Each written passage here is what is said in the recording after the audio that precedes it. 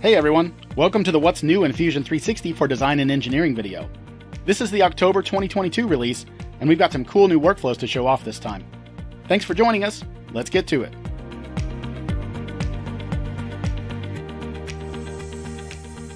Before we jump into the what's new, we wanted to mention a new NVIDIA driver for those of you using certain GeForce and Quadro cards. You may have noticed a performance issue when running Fusion 360 if you had G-Sync enabled. This resulted in a sort of stuttering of the graphics during certain operations. While the workaround was to disable G-Sync in the NVIDIA control panel, a new driver update will resolve the issue and allow Fusion 360 users to re-enable G-Sync if they wish. Check the links in the description below for more information. To start us out this release, let's take a look at the generative design space. Over the past year, we've been working hard to develop a new solver for generative design. We have now reached the stage where that solver is ready for prime time. With the October release, this new solver is the default solver for generative design. You will notice faster solves, better shapes, and higher quality results in general. For the moment, the new solver is just a direct replacement for the old production solver. Future releases of Fusion 360 will turn on additional capabilities, but for now, workflows are exactly the same. The old solver is still available by turning on the experimental solvers in your preferences and enabling alternative results in the study settings, but this option will be removed in a future release. For simulation, we have a few new changes to talk about.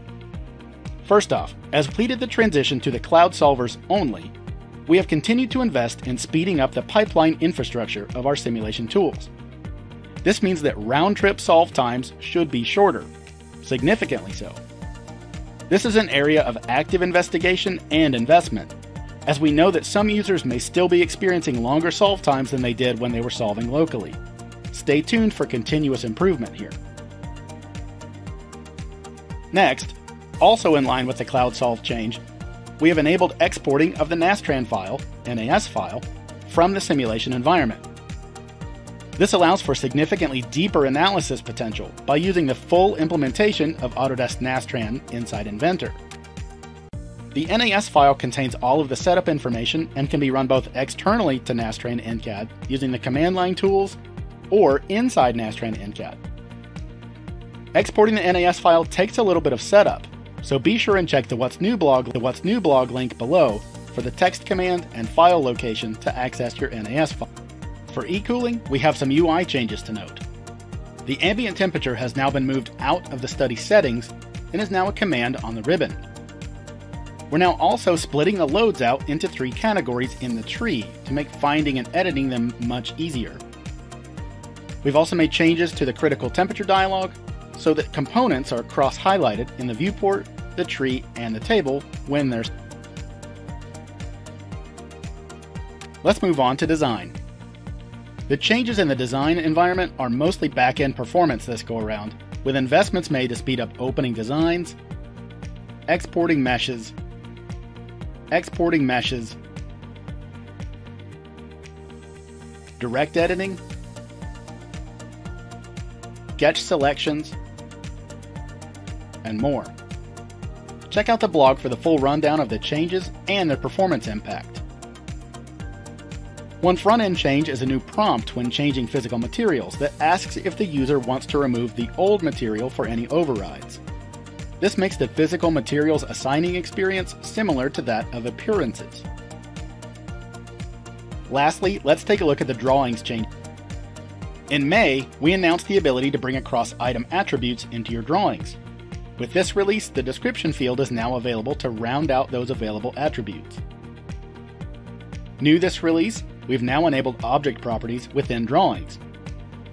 This means that drawings can now have specific line types, line weights, and colors for various geometry types in the drawing. While this isn't as granular as Inventor or AutoCAD drawings, this does open the door to more nuanced drawings and documentation. For example, in a complicated machining drawing, the colors or line weights might be adjusted to make boundaries easier to understand.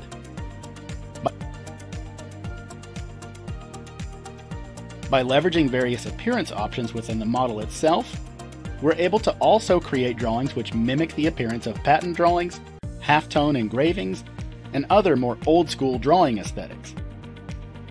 To create some of these types of views, use various 2D texture images like halftones or other hatching as material appearances in the 3D model. In the drawing, just set the appearance to shaded, with or without hidden lines to your liking.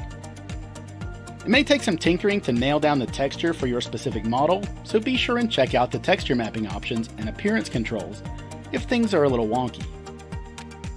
If you're using Fusion 360 for patent designs, there's a good chance that this new functionality will streamline your process and even potentially eliminate the need for additional vector software.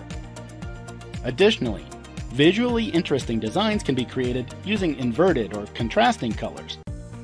Nothing says retro aesthetic quite like graphics that mimic an 80s green CRT screen. One final note this release for those of you on a few older OSs. Starting in March of 2023, we will no longer be supporting Fusion 360 across Windows 8.1, Windows 10 version 1803 and older, and Mac OS 10.15 Catalina. We wanted to give everyone a good heads up that this was coming. By staying focused on more current operating systems, we can continue to deliver ever evolving and growing features. Thanks for hanging out with us this time.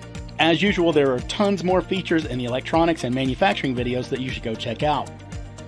The blog link below has the full rundown of new and updated features, as well as links to deep dives and other resources. Be sure and update your NVIDIA drivers, and we will catch you next time.